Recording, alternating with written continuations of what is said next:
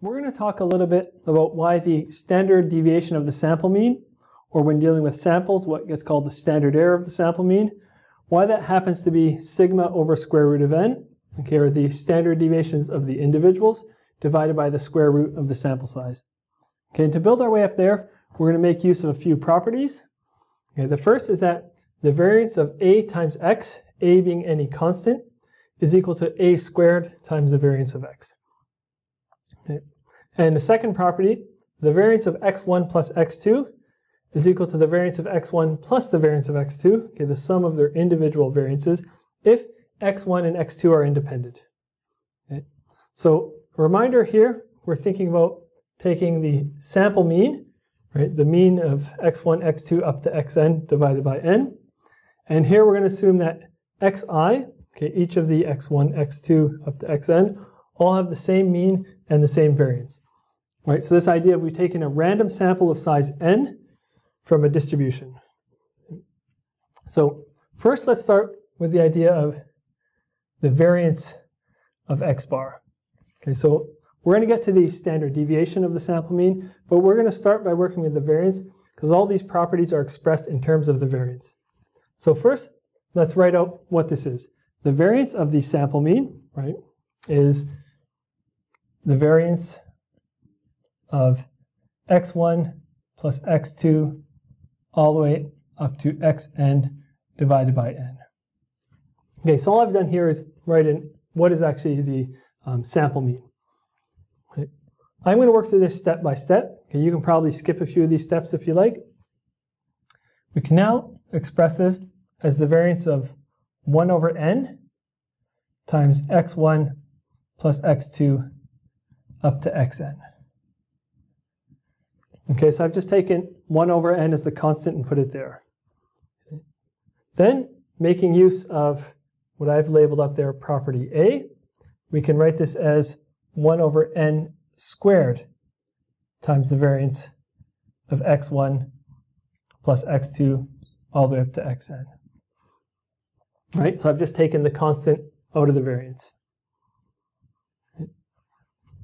So I'm going to simplify this to 1 over n squared. Right? 1 squared is 1 over n squared. And then this here, again, using the what I've labeled as property B up there, the variance of x1 plus x2 can be written as the variance of x1 plus the variance of x2 if they're independent. Right? And taking this random sample, we assume it's an independent random sample.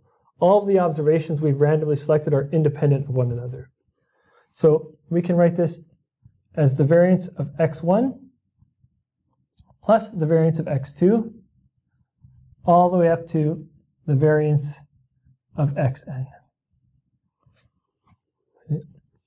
And now, let me add this here.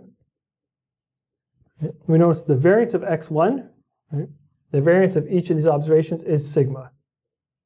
Oh, sorry, that's uh, forgot the square there. Sigma squared. Sigma we use to represent standard deviation sigma squared for variance.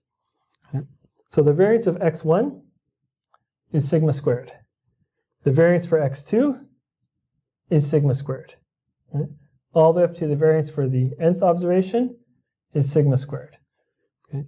And you'll notice we have this appearing n times right, for each of the x1 up to xn. So we can write this as 1 over n squared times n sigma squared.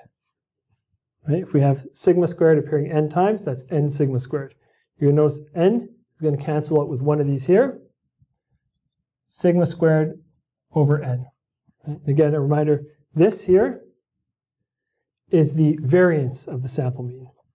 So the standard deviation of the sample mean, or sometimes what we write sigma x bar, is the square root of sigma squared over n, which we can write as sigma over the square root of n. Okay, so this is how we get to that formula that the standard deviation, okay, or the standard error for the sample mean is sigma over square root of n. Okay, and just a note, right, when we move into dealing with samples, the, we start to call it the standard error, and we replace the population standard deviation with the sample standard deviation. Okay, but that's how we got to that formula um, that we've seen previously. Hope you guys liked the video. Stick around, guys, because we got lots more. Statistics is almost as yummy as chocolate.